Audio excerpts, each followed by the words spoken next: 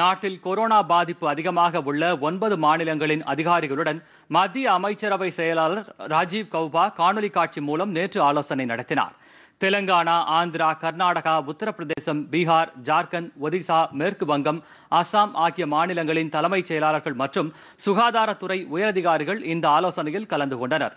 Corona தொற்று பரவலை தடுக்க மத்திய அரசும் மாநில மற்றும் யூனியன் பிரதேச அரசுகளும் மேற்கொண்ட படிப்படியான ஆக்கப்பூர்வமான மற்றும் ஒருங்கிணைந்த நடவடிக்கைகள் காரணமாக நாடு முழுவதும் குணமடைவோர் எண்ணிக்கை அதிகரித்து வருவதுடன் உயிரிழப்போர் விகிதம் குறைந்து வருகிறது.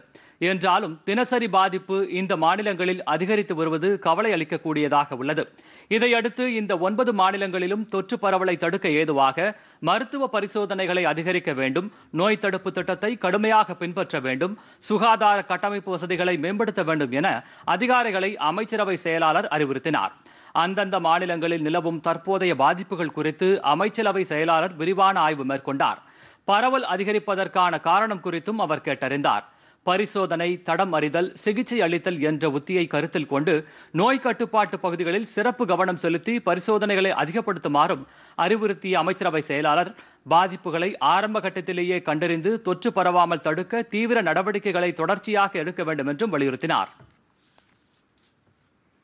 பொதிகை செய்திகளை யூடியூபில் தமிழ் நியூஸ் தூர்தர்ஷன் என்ற சேனலிலும் முகநூலில் டிடி பொதிகை நியூஸ் என்ற பக்கத்திலும் ட்விட்டரில் டிடி நியூஸ் சென்னை என்ற பக்கத்திலும் இன்ஸ்டாகிராமில் டிடி பொதிகை நியூஸ் என்ற பக்கத்திலும் காணலாம்.